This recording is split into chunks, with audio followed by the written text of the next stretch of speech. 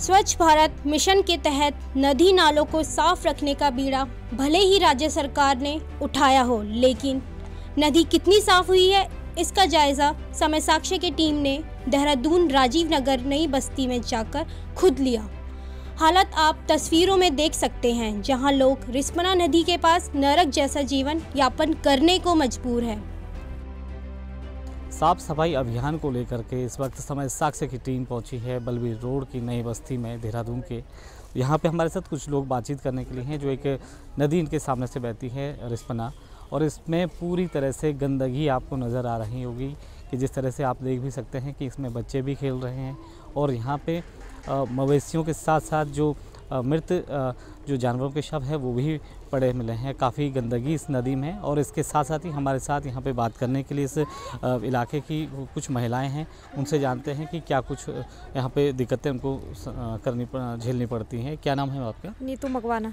नीतू जी जिस तरह से आपके मोहल्ले में हम लोग आए हैं समाज साक्षर की टीम आई है और आप देख रहे होंगे कि पूरी नदी में गंदगी और इस बदबू में आप लोग कैसे यहाँ पे जीवन यापन करते हैं? बस बहुत दिक्कत है जो गंदगी आती है वो साफ़ करना चाहते हैं। साफ़ रहनी चाहिए नदी ना इसको लेकर के मुख्यमंत्री जी ने भी इसमें काफ़ी प्रयास किया था कि नदी को साफ़ करेंगे। तो उसके बाद कोई आया है यहाँ पर देखने के लिए? नहीं अभी तो कोई नहीं आया ऐसा इधर। तो आपको क्या लगता है नदी साफ़ हुई है या नहीं? नदी साफ़ होनी चाहिए हुई नहीं है अभी। कितनी गंदगी है इसमें? बहुत गंदगी है। कितनी दिक्कतें होती हैं? यहाँ तो सभी दिक्कतें पानी आता है टूट जाता है पूरा बह जाता है फिर हमें किराए पे उधर उधर भागना पड़ता है मतलब ये है।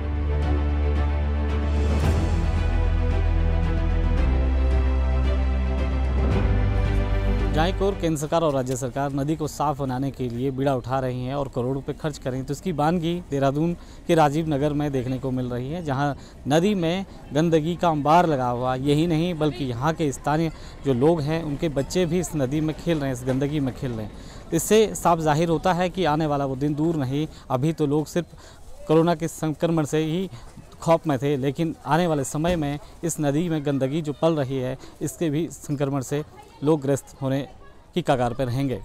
अपने सहयोगी नेहा नोटियाल के साथ हरीश खन्ना, समय साक्ष देहरादून।